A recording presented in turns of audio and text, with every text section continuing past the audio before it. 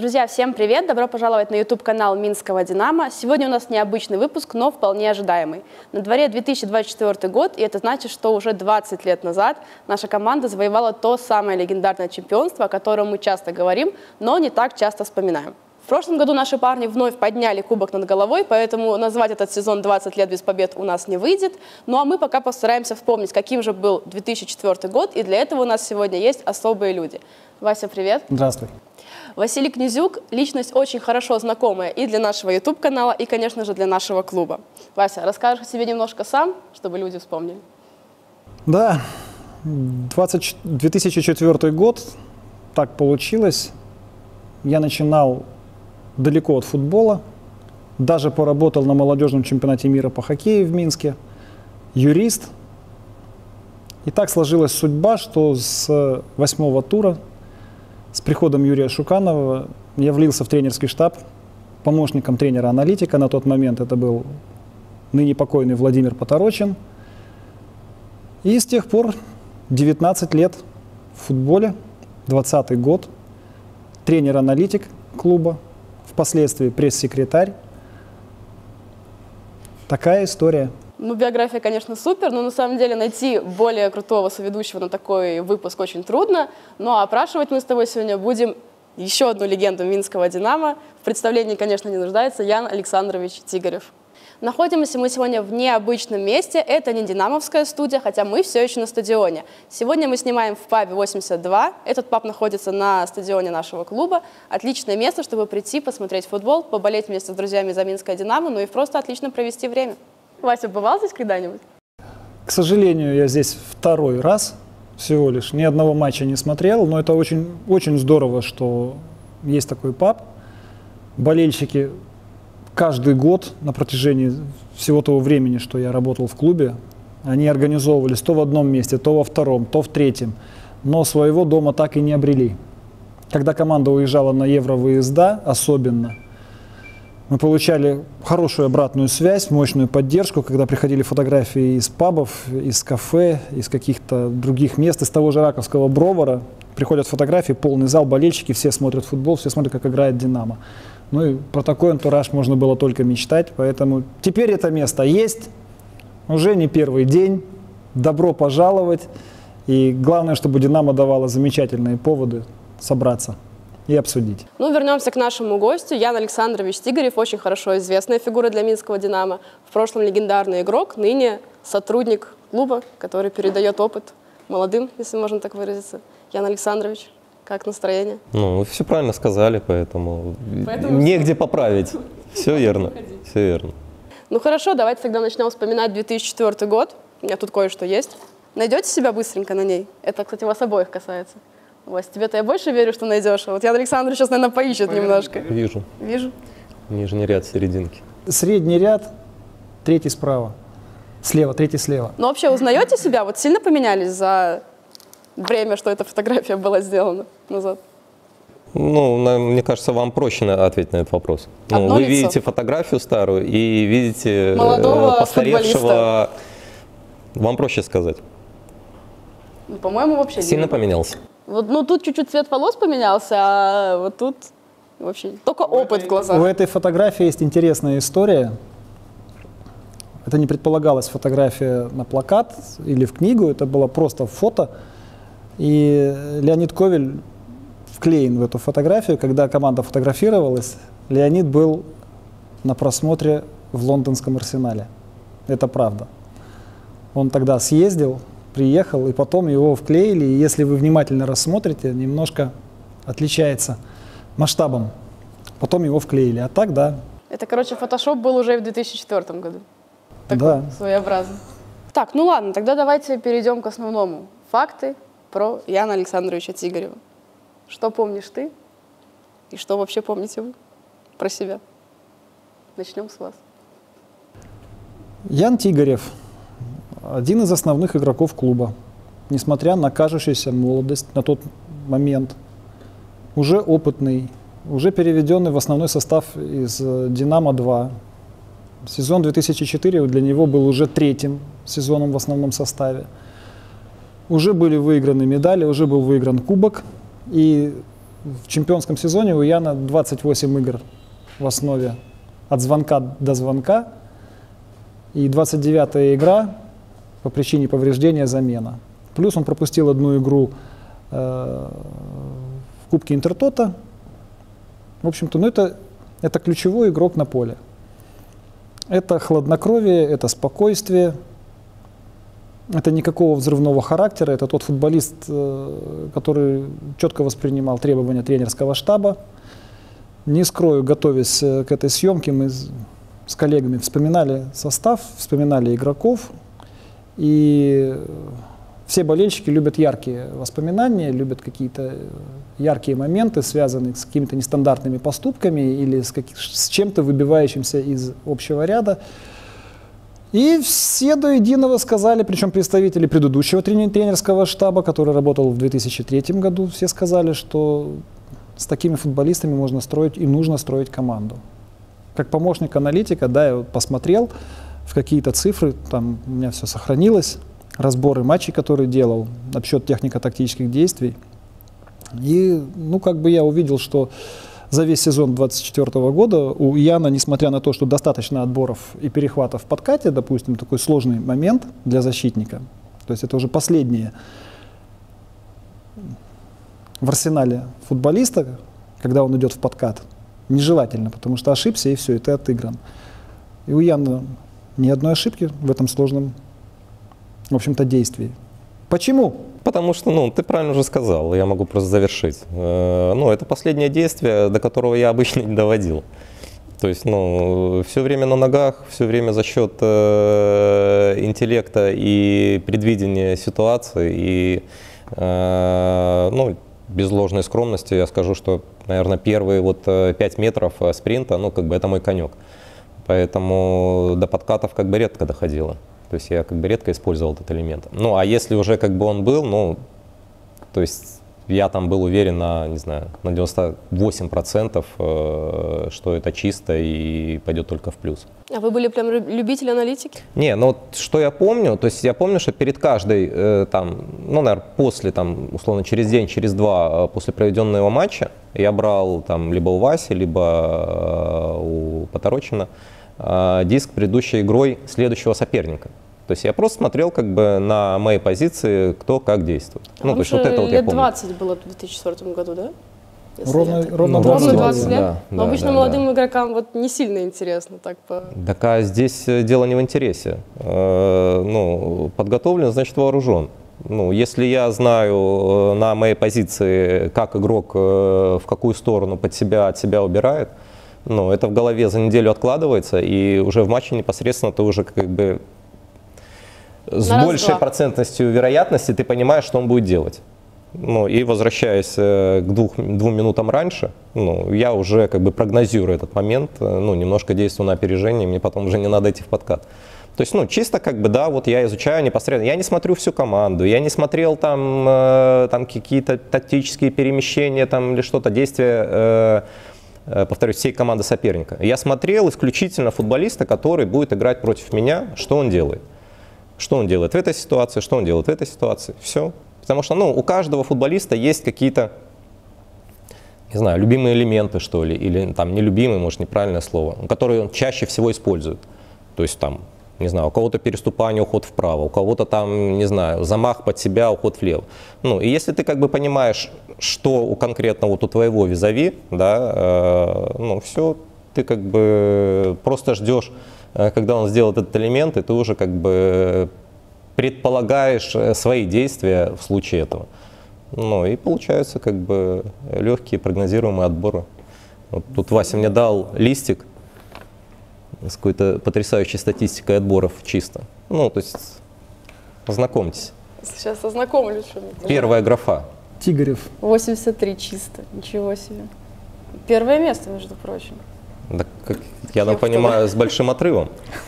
Ну, не с Потому большим, но... Надо же готовиться большим. к матчам. То есть ты посмотри соперника, кто будет пытаться То есть, короче, тебя вот тут прям обыграть. кто игры смотрел соперника, кто не смотрел, правильно? Вот по этой можно графе я думаю, чисто да. понимать. Коль уж мы заговорили про цифры, Ян Александрович, что у вас вообще по статистике? В том числе в 2004 году, это понятно. Голы и голевые передачи, будьте любезны, я вот так, этот листик уже ваш смотрите, как э, один человек, мой знакомый, сказал, э, у футболиста должно быть как минимум одно хорошее качество. Яркое качество. Надежное качество. То есть за которое можно зацепиться и уже понимать, как футболиста использовать вот в этом механизме команды. Вот. То есть если два качества хороших, топовых, ну это уже как бы это топ-уровень. Это уже арсенал. Да, да, да. Ну и вот про себя могу сказать, что у меня было одно хорошее, сильное качество, вот это вот э, отбор мяча, единоборство там и так далее, так далее, так далее. Все остальное, к сожалению, э, развито было слабо. Да, да, да, да, да. К сожалению, талантом э, Бог меня не наделил, только работоспособностью. Вот, соответственно, со статистикой у меня все более чем скромно. Э, два гола за карьеру, ну, один за сборную, один за клуб. Ну вот, собственно говоря, все. Ян сам в интервью однажды сказал, что ну, это была середина карьеры, он вспоминал э, свою карьеру и говорил, что матч, который я могу себе записать в плюс, это матч со сборной Италии – за сборную. А матч, который в минус, это прошлогодний матч э, с Локомотивом э, в Минске, с Витебским Локомотивом. Тогда это так команда называлась. Мы 4-2 выиграли. И Ян разделил вину за один из пропущенных голов. Но я бы опять не ставил, так, ну ему виднее, я бы так не ставил вопрос. Забивает команда, пропускает команда. И если где-то кто-то в каком-то моменте не сыграл, то другой обязательно подстраховал. Просто тот матч был очень показателен, мы проигрывали 0-2 уже там чуть ли не к середине первого тайма. К 65-й минуте мы уже выигрывали 3-2, и на 92-й минуте Шуканов, ой, надо найти этот гол, надо найти эту запись. Очень красивый дальним ударом. Поги не поверил, что мяч может залететь, он даже не реагировал. Ну, честно говоря, э, нет, э, про 4-2 я помню. Я помню, потому что там после этого матча потом э, ну, были разборки там и внутри команды, там что-то и тренерский штаб, там что-то и вратарь, цыгалка, там какие-то претензии личные, то есть этого я помню. Но как бы, что я внес матч этот ну, честно говоря, не вспомню уже, как бы перипетии. Я помню, что мы 2-0 проигрывали, вот, но потом как бы все закончилось хорошо. Э, я помню вот э, другой матч, и вот мне кажется, что вот как раз-таки мы с Локомотивом играли. Э, когда 1-0 горели, 2-1 выиграли, и Шуканов забил там на последней минуте с углового флага. Тоже было. Вот. И вот этот вот матч, вот я точно помню, что я его занес себе в, актив, в пассив, потому что перед каждой игрой я как бы и так, э, вот, ну не и так, а настраивался вот ровно на 100%, ни меньше, ни больше. А перед игрой мне сказали, что этот матч приедет там представители московского «Спартака» смотреть на тебя. Ну и все. И вот эти мои 100%, оно перелилось э, за край, и, ну, как бы, вот э, со всех сторон, э, вот я помню, как бы, вот этот матч мой был прям неудачный. Я, я даже помню, это вот мне сказал, кстати, Шуканов там перед игрой. И уже после игры как бы я к нему подошел, и он как бы, ну да, понял. Я говорю, если даже что-то, я говорю, мне вообще не надо перед игрой ни о чем говорить. То есть мне как бы настроя достаточно без всякой дополнительной информации. Вернемся к, к важному вопросу. Про нелюбимый матч понятно. А есть любимый матч? Неважно, может быть, он был там неудачный, может быть, он там по счету был не тот, но вот прям вот любимый матч, который в сердце. Это, по-моему, 2005 год уже был, наверное. А, играли с Батэ на Динамо. Выигрывали 4-0, там закончили в итоге 4-2. А у меня это уже был там какой, четвертый или пятый сезон. И, честно, уже как бы э, очень сложно было э, отыскать в себе мотивацию. Вот я прям понимаю, что 2005 год уже был, ну, надо было уезжать потому что, ну, вот уже как бы, уже все, не за что зацепиться, да, условно, там, чемпионами стал, все медали взял, там, кубок выиграл, уже пятый сезон в чемпионате Беларуси, ну, то есть, и вот, э, в принципе, наверное, единственный матч э, в этом году удачный, ну, ну как бы это Батэ потому что, ну, противостояния с Батэ не всегда были, как бы, э, ты уже ни на что не отвлекаешься, там, ни на место в таблице, ни на какие-то эти, то есть игра с Батэ это прям, ну, это вот что-то сродни там бою, даже а не футбольному матчу. И вот даже я помню, э, мы жили тогда в служебной квартире, вот недалеко от Динамо, да, да и, ну, у нас там жило там пятикомнатной квартире, там человек 15, наверное, то есть там все жили, и Кирилл Павлючик, и там э, Лисько, и, ну, как, короче, много, много, много из тех футболистов. Да, да, да. И э, вот я помню, что после матча, ну понятно, что э, пиво, все дела, э, как бы все. Ну и там, соответственно, за нами э, э, работали как, ну я не знаю, как это сказать, ну не нянечки, наверное, но которые следили, чтобы мы там э, в 19-20 лет в разнос не пошли. А вот. Отчаянная женщина. Звонок в дверь. Ну, мы сидим на кухне спокойненько, там, помню, Кирилл Павлючик, еще кто-то. Ну, сидим, пьем пиво, как бы отмечаем победу над Батэ, все как бы. Она заходит, убирайте, чиш идет. Ну, понятно, ничего мы убрать не успели. Ну, заходит чиш, посмотрел. Такой, ну, понятно, с победой. Он говорит, ну, и на меня. Говорит, наконец-то я первую игру твою увидел в этом году, где, ну, я говорю, ну, Говорю, согласен, готовился вот исключительно к БАТЭ, потому что до этого уже как бы неинтересно. То есть даже Юрий Саныч отметил, что... Ну и вот тогда действительно мне как бы игра удалась. То есть вот я ее помню как бы из чемпионата в Беларуси, когда вот, ну, прям после игры есть чувство э, удовлетворенности от э, хорошо проделанной работы с хорошим соперником. Сейчас будет странный вопрос. А как это жить 15 э, человек в, трех, в пятикомнатной квартире? Ну, вы никогда не жили в студенческой общаге? Нет, я ну... училась в Минске, родилась в Минске, мне не повезло. Ну, вы многое потеряли. Ян Александрович, э, у многих футболистов в команде есть, как правило, какие-то прозвища. И вот у многих, ну, 2004 года прозвища так плюс-минус известны. А у вас что-нибудь было вообще? У вас какая-нибудь кличка была? Вася, я не помню. По-моему, нет. А для чего нужно прозвище на поле? Пока ты крикнешь «Павлюкович», Мяч ну да, чтобы укоротить, укоротить имя твое, то есть как бы сокращенно. Ну куда уже короче Ян. Ну, Ян. я, честно говоря, не помню. Ян, По-моему, Ян. не было. Вас вдвоем так и называли, Лян, Ян. Два защитника. Да, да, да. Ничего никогда не было. А если брать команду, кто вот был ваш тогда лучший друг, может быть? Может и сейчас? Именно тот состав четвертого года. Ну, смотрите, э, то есть в футболе как и в жизни, наверное, да, как в школе, потом в университете, то есть с кем ты больше всего проводишь времени, как бы, э, с кем живешь, э, там, не знаю, э, делишь э, обед, ужин, да, соответственно, там э, готовишься к матчам, матчи, после матча отдыхаешь, э, вот, то есть, ну, на тот момент, да, как бы со многими дружили, там, и Кирилл Павлючик, там, и Лисько, Антон Рябцев, э, в принципе, мы все жили в одной квартире, Пархачев, Ковель, ну, то есть, как бы, скажем так, большая компания.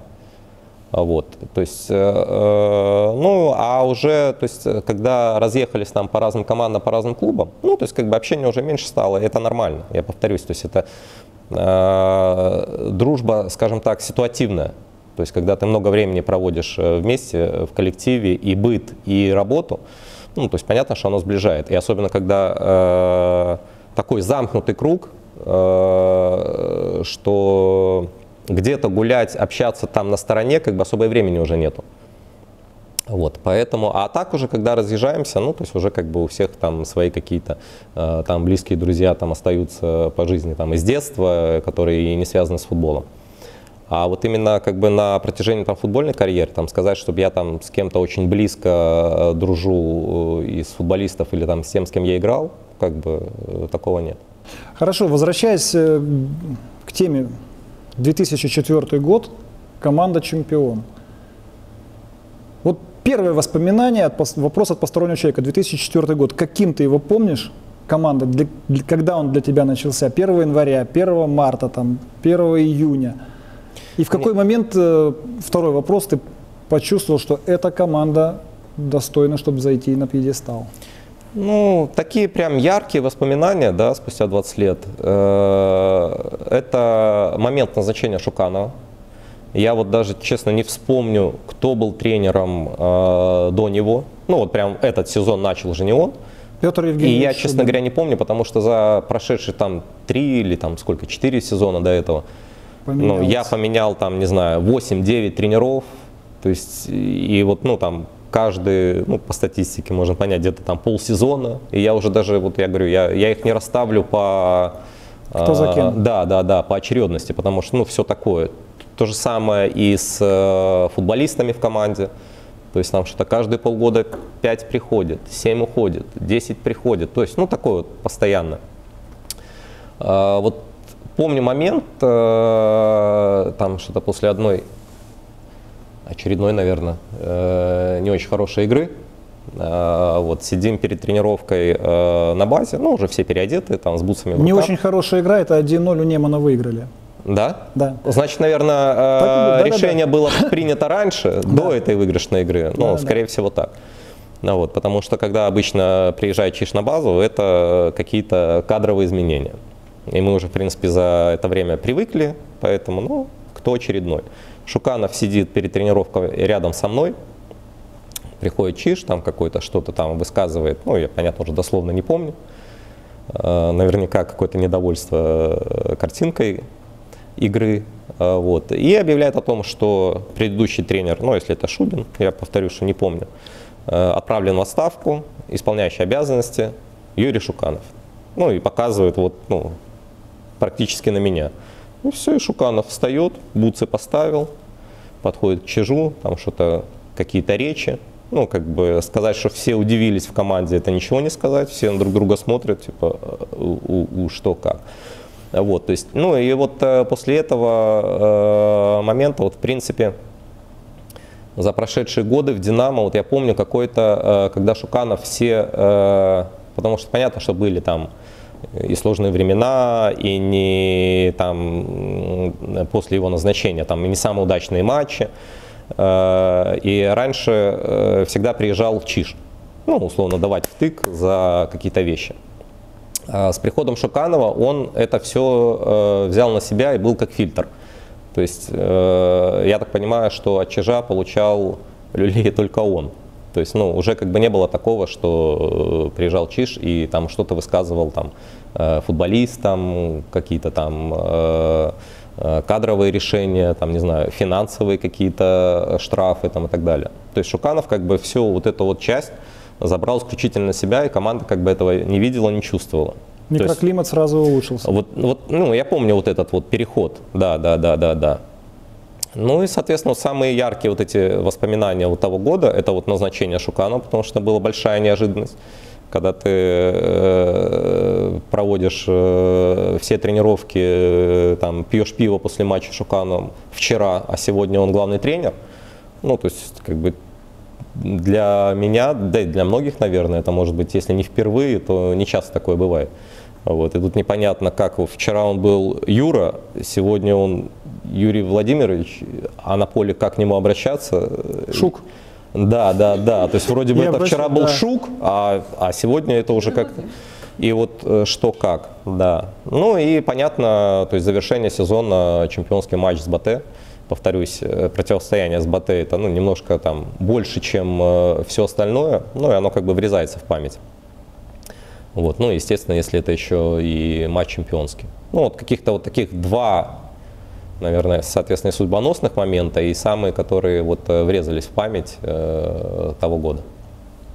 Готовясь к этой съемке, поднял прессу и перечитал все послематчевые комментарии Остроушка Леонида Константиновича и Шуканова. И журналисты очень любили ходить на пресс-конференции Остроушка. Он, как сейчас принято говорить, жег глаголом, он не стеснялся называть вещи своими именами, но он никогда не отыгрывал на судей. Что судьи нас где-то прибили, что судьи где-то что-то сделали не так.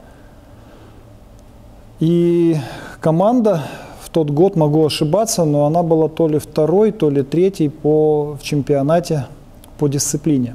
Очень дисциплинированная команда была, очень мало ненужных э, фолов, ненужных карточек, сдержанная, а, там, от- откидка мяча, споры с судьями, этого не было. В твоей памяти что-то осталось такое, что, вот ты сказал, убрали ненужные эмоции с появлением руководителей, Шуканов взял на себя, и вот эти вот кирпичики как-то они складывались или Не, ну если просто, от- ну, ты что у нас за статистику отвечаешь, э, тебе виднее. Я просто могу э, предположить, э, в связи с чем, например, да, э, потому что Шуканов э, влил в команду много э, молодой крови, да, которые, э, ну, э, может быть, благодаря ему вообще и стали футболистами и заиграли, потому что многих дублеров э, подтянули, то есть, ну, вот при нем вот един, единовременно, наверное, заиграли. Артур Лисько, там, Пархачев, Ковель, э, э, Линцевич, э, там, Павлючик. Э, ну, соответственно, э, много э, молодых футболистов, которые ну, в силу возраста еще не могли себе позволить там, тех вещей, о которых ты говоришь там какие-то откидки мяча, неспортивное поведение, то есть это могут позволить себе футболисты уже более опытные, да, которые там, ну, не знаю, э, понимаете, да, о чем да, я да, говорю, да, да. что, ну, когда берут молодого человека э, с дубля, ставят основной состав Минского Динамо, и команда еще там борется за там какие-то места, да, и ну, позволить себе там какое-то поведение на поле, э, которое не соответствует твоим, скажем так, и возрастным, да, и э, футбольным, наверное, качеством еще на поле, да, потому что ну, все-таки мы молодые, мы развивались параллельно с командой, то есть э, это не были уже готовые футболисты, которых вот поставь и все, и они как бы железные игроки основы. То есть, повторюсь, много кто с команды просто смотрели в рот главному тренеру, не могли себе позволить там какого-то поведения, при котором все понимали, что так же, как они попали в команду, они могут вернуться обратно. Как вообще строится тренировочный процесс, когда у вас играющий тренер? Вот я, допустим, не совсем понимаю. Обычно же, ну, главный тренер, скажем так, дает какое-то упражнение, там, отходит в сторону, а он как бы фактически ну, действующий игрок, как он тебе показывает, сам выполняет, или как-то он... Э, нет, как практически весь э, тренировочный процесс э, вел Остроушка. Шуканов, в принципе, до самой концовки сезона, он именно на тренировках вел себя как футболист. То есть э, какие-то вещи, я так понимаю, что, может быть, Вася больше скажет, перед тренировкой, то есть они тренерским штабом э, там расписывали тренировочную программу, там упражнения и так далее, и так далее. Э, при выходе на поле уже все, как бы остроушка со свистком, Шукана в бутсах. И причем, ну, как бы тоже вот своего рода это был большой плюс, потому что Шуканов изнутри чувствовал, во-первых, сам как футболист, ну, во-вторых, в тренировочном процессе, ну, ты же как бы там со всеми общаешься, там, когда э, команда немножко там перегружена, то есть он сам э, подходил там к Шуканову и там вносил какие-то корректировки в тренировочный процесс. Там где-то э, там это упражнение там уменьшить количество серий, там в этом упражнении там чуть-чуть или там э, поменять тренировку там, например, на следующий день, потому что ну как бы он сам чувствует и вот общаясь с командой, ну то есть что там что-то нужно поменять, условно. Когда э, классическая история, там главный тренер просто со свистком, ну, то есть он эти моменты может как бы не, не всегда прям контролировать. А тут, ну, вот в этом плане, как бы я помню моменты, когда вот э, там где-то в тренировках прям, то есть стояли там и тяжеловато, тяжеловато. Ну да, я вижу, что там и вы, и я в том числе, то есть вот такая вот история, и там где-то э, что-то корректировалось в тренировочном процессе. Смотрю на фотографии, Тут очень крутая надпись титульного спонсора. Siemens Mobile, 2004 год. Телефоны подарили мобильные, может быть? Нет. Радио, телефон? Нет. Хоть что-то? К сожалению, нет. Ничего? К сожалению, нет. Даже за чемпионство, награждение, подарки были более чем скромные. Короче, все, все в трудах. Хотя награждение чемпионское проходило в концертном зале Минска, билетов было не достать чтобы сейчас так на футбол в среднем ходили по стране. А билеты продавали на награждение? Были пригласительные. Но, опять же, вот вопрос к Яну о болельщиках. Матч, когда мы стали чемпионами, собрал аудиторию 10 тысяч. А собрать аудиторию в 3-4 тысячи, из которых там полторы-две тысячи фан-сектор, это была абсолютно не проблема. Какие у тебя были отношения с болельщиками? Насколько они мотивировали вне футбольного поля? Свободное время? Не, ну я прям, ну с некоторыми болельщиками э, общались, причем э, я даже могу сказать, с чего началось это общение. Э, были болельщики Минского Динамо, но они ездили на все, ну или на многие выезды там молодежных сборных и национальной сборной. И вот я помню, что с некоторыми из них мы познакомились, э, когда выезжали на спаренный матч национальной сборной и молодежной сборной. Соответственно, мы накануне отыграли. Ну и у нас как бы выходной э, матч национальной сборной.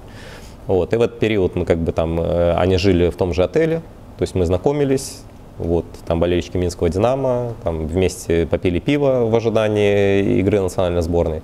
Ну и вот как бы с ними там поддерживали какие-то там личные отношения. Вот. Ну, а болельщики, в принципе, ну, это банальные будут вещи сказаны, конечно. Тут ничего не придумаешь. Понятно, что болельщики на стадионе, э, они мотивируют и гонят вперед. Без них как бы сложно.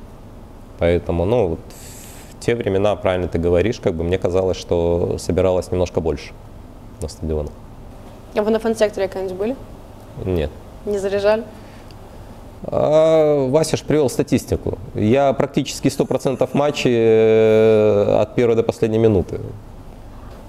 Ну, не 100 же процентов можно было и ну, зайти. Я очень хорошо Я не помню. помню, по каким причинам я, я пропускал там, может быть, один или два матча. Но э, Стратегию не знаю, позволя- позволяли ли они мне... э, Один по травме, один по травме, потому что была замена, и дали- следующий матч дали восстановиться. Один, четыре карточки. И вот мы играем этот матч на стадионе «Трактор». Я сижу со своими рисунками аналитика, сел чуть-чуть в сторонке справа от болельщиков. Ну и все футболисты, кто не участвовал в матче, сидят рядом. Матч сложный. Не можем забить. Не можем забить, не мы потом забили, и все. И Ян вот так вот просидел, всё, то есть извелся, говорит, да лучше бы я пошел на поле, да мое место там. А рядом сидят футболисты, и у них идет разбор игры профессиональный. И на том сленге, на котором они разговаривают э, на поле. И мне бы на поле смотреть, а я вот так вот ухом, потому что ну, такого ты не услышишь. Болельщики за это много бы отдали. Это было, ну, и для моей работы это было интересно, что как это так, что я делаю и как я оцениваю какие-то эпизоды. И футболисты, как они жили игрой, вроде я не я, там же играют, а они вот здесь, и они, они рвутся на поле, несмотря что у одного травма, у второго карточки, это, это было очень здорово. А вас вообще вот было слышно, кстати, на поле? Ну, есть футболисты, которые, прям, скажем так, там и комментируют все, и подсказывают всегда, и, ну, напихать кому-то могут, кто помладше. Вы из этой истории или вы... Нет, только подсказ. Только подсказ и рабочие разговоры в процессе игры. На вас вообще вот, ну, вы кричали когда-нибудь на партнеров по команде вот так, чтобы прям жестко? Ну, прям жестко нет. То есть, ну, как бы, э, ну, жестко, опять же, не, ну, я говорю, понятно, что там эмоции где-то, может быть, э, чуть-чуть переходило, там, какую-то, скажем, среднюю грань, но не красную. А, Вот. э, Но это же такое дело, что ты понимаешь, что ты можешь за любой момент напихать кому угодно и через пять минут совершить такую же ошибку. Ну и тогда будет как бы немножко... э, Если ты отыграл э, 90 минут идеально, да, и кто-то ошибся, и ты за 10 секунд до свистка э, судьи там можешь кому-то пихануть, понимаешь, уже сам как бы не облажаешься. Но опять же, ну будет следующий матч, и тебе ж могут это в ответ потом предъявить. Понятно, что если там футболисты, там, которым уже на тот момент там было там 30, э, которые могут себе позволить э, и э, понимают, что не услышат в ответ, ну это один момент. Но когда тебе 20, Э, Кому пихать? Э, Такому же 20-летнему или 30-летнему Ваденко- Володенкову с Разиным? Ну, то есть, опять же, э, те 20-летние, э, которому ты можешь напихать, они живут с тобой в одной квартире. Ну, Напихать после. ну, то есть, как бы, есть нюансы, конечно. матч, э, ну, для современного, наверное, болельщика в нынешних условиях, она кажется, вывеска такая, даже почти фантастическая. Это «Динамо Минск Лиль». Как бы уже в современных реалиях не скоро нам, наверное, выпадет такой соперник. Что вот вообще про тот матч можете вспомнить, рассказать?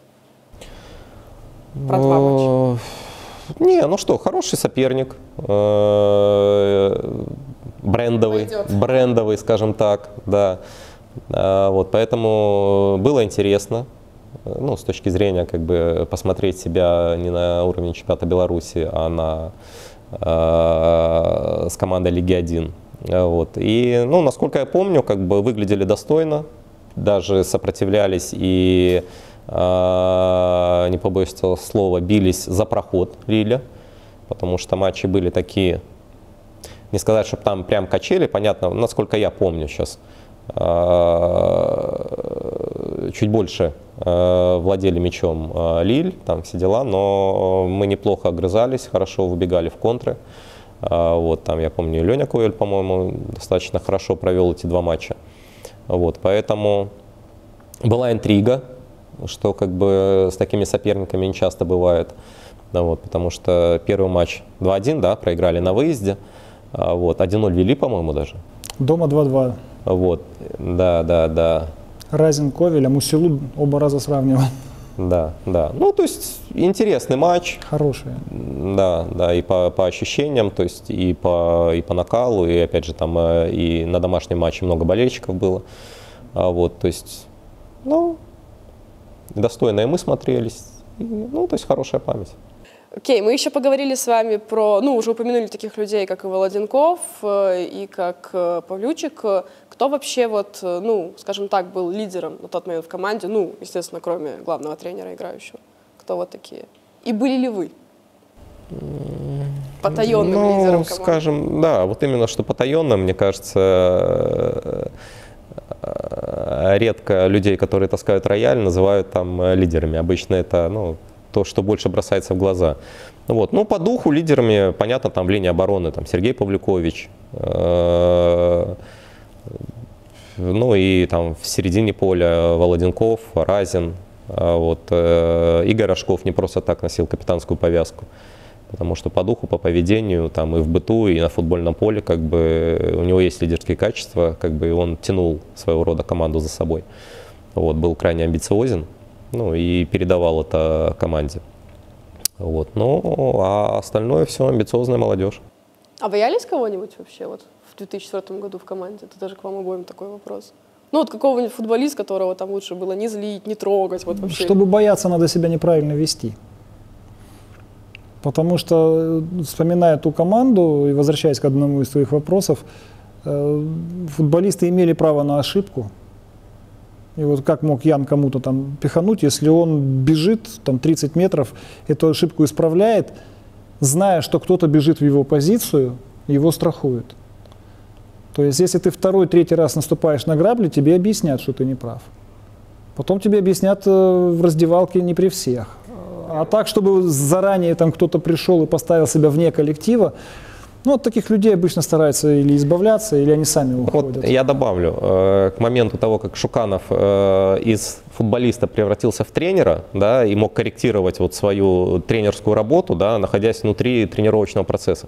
Вот с точки зрения как бы и жизни э, команды, да, как, как механизма, опять же, то есть он до этого был внутри гуще, да, то есть общался со всеми футболистами, в бане после тренировок слушал э, какие-то вот эти вот разговоры.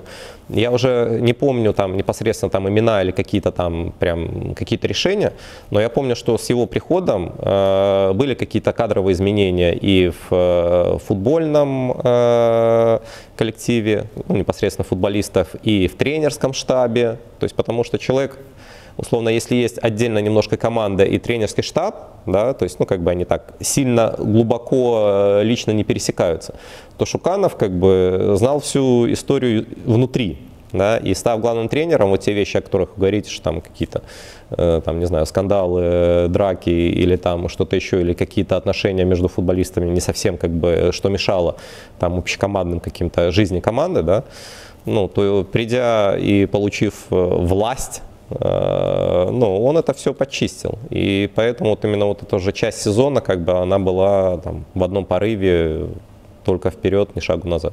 Кстати, еще такой вопрос, Ян Александрович. Вот вы, на самом деле, из футболистов 2004 года, ну, одна из самых непубличных, скажем так, личностей. Про вас мало что можно найти, мало что можно почитать.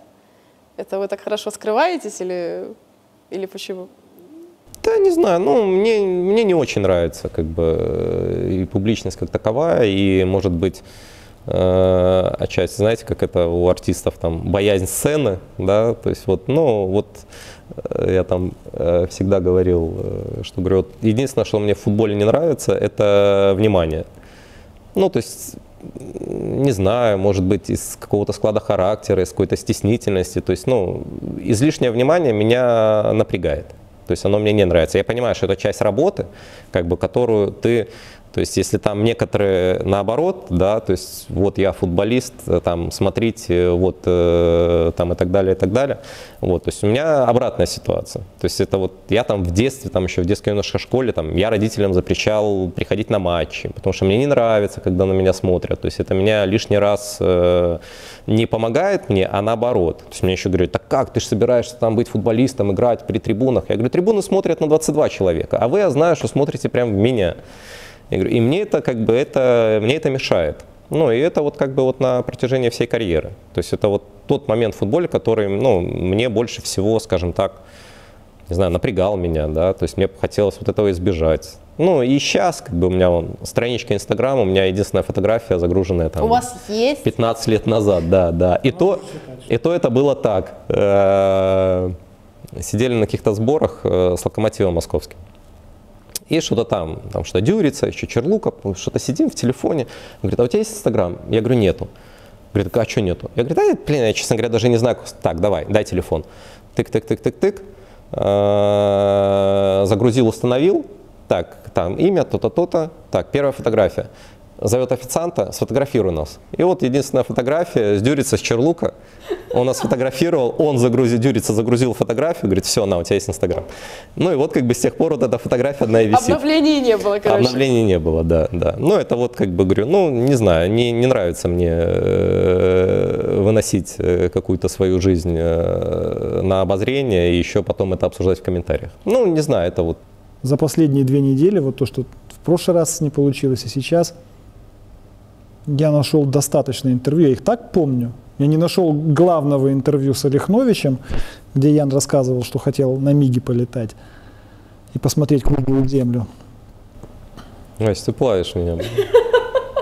Но я нашел много очень глубоких нефутбольных интервью, где человек Ян Тигрев раскрывается просто Нет, так мы... по- и в «Локомотиве» Смотрите, хорошее я ж интервью, не и в говорю, что я- да. Я отказываюсь интервью, Не прячусь или Не, что-то еще. нет, Нет, нет. я просто говорю, Так что я, я- понимаю, что это часть Нет, так работы. я возражаю, что но она я- меня как бы тяготит. Я, Я, не я, Ян есть, Ян есть. Просто в моменте после каждого матча, когда надо срочно в номер или срочно там комментарий, к защитникам не идут, а они и сами проходят. И я помню, был пресс-секретарем, я подходил к молчунам, которые не любили говорить. Я просто говорил, и ребята мне верили, потому что я держал слово. Я говорю, слушай, ну тебя тысячу лет нету, уже как бы на тебя есть заказ, мы выиграли хороший матч, я не хочу тебя сглазить.